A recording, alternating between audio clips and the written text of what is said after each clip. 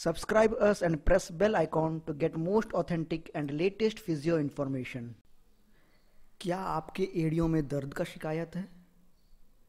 पाँव ज़मीन में रखते ही ऐसा महसूस होता है जैसे मानो कोई कांटी सा आपके एड़ियों में चुभ गया हो।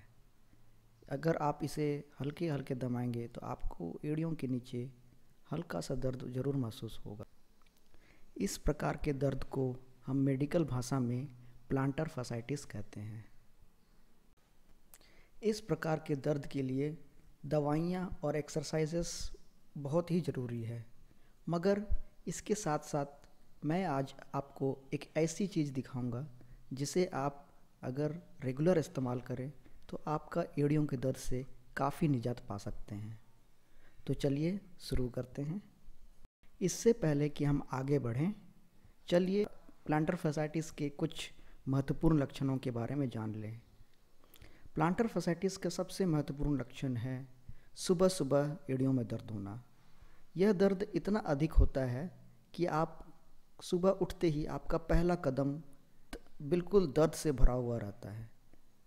मगर जैसे जैसे दिन बीतता जाता है, आप चलते जाते हैं, यह दर्द ख़त्म हो जाता है।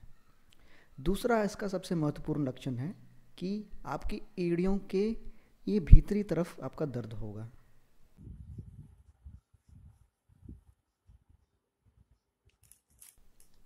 सिलिकॉन हील पैड्स को आप रेगुलर इस्तेमाल करें तो आपका दर्द में काफ़ी कंट्रोल आ सकता है।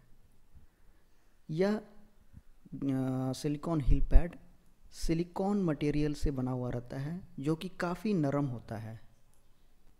यह आपके इसका बनावट ऐसा होता है जैसे कि वो आपके एड़ियों में फिट हो सके। आप देख सकते हैं, यह सफ़ेद रंग का दिखता है और इसके बीच में एक नीला सा स्पॉट है। नीला सा स्पॉट में ही ये आपके एड़ियों का दर्द वाला हिस्सा वहाँ पे जाता है।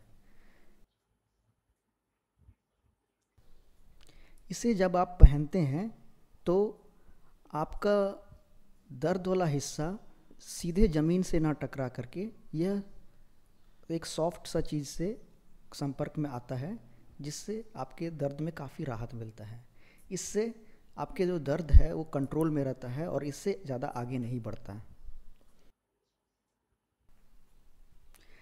इसका इस्तेमाल का तरीका बहुत ही आसान है, मगर याद रखें कि इसे आप खाली पाँव नहीं पहन सकते हैं और इसे आप सैंडल के साथ भी नहीं पहन सकते हैं। इसे आप इस्तेमाल कर सकते हैं तो वो अपने जूतों के साथ, चाहे वो लेदर के शूज़ हों, चाहे वो स्पोर्ट्स के शूज़ हों। तो ये सिलिकॉन हील पैड को आपको जूतों के एड़ियों की तरफ़ रखना है, अच्छी तरह से एडजस्ट करना है। आपने एक जूते में रख दिया, उसी प्रकार आपको ये दूसरा जूता में भी लगाना है। ये देखिए। जब आप इसे लगा लेते हैं तो फिर आप जैसे आम जूते पहनते हैं, उसी तरह से आप इसको पहन सकते हैं। आप इसे पहनिए और फिर इसे चलिए। यह इतना नरम होता है कि आपका दर्द वाला हिस्सा को आराम देता है, जिससे दर्द बढ़ता नहीं है और ये कम, दर्द आपका कंट्रोल में रहता है, कम होता चला जाता है। इसके साथ साथ आपको फिजियोथेरेपी भी कराना ज़रूरी है। मैंने जो सैंपल आपको इस वीडियो में दिखाया यह डायना कंपनी का सैंपल है, जिसे मैं यूजुअली अपने पेशेंट्स को रिकमेंड करता हूँ।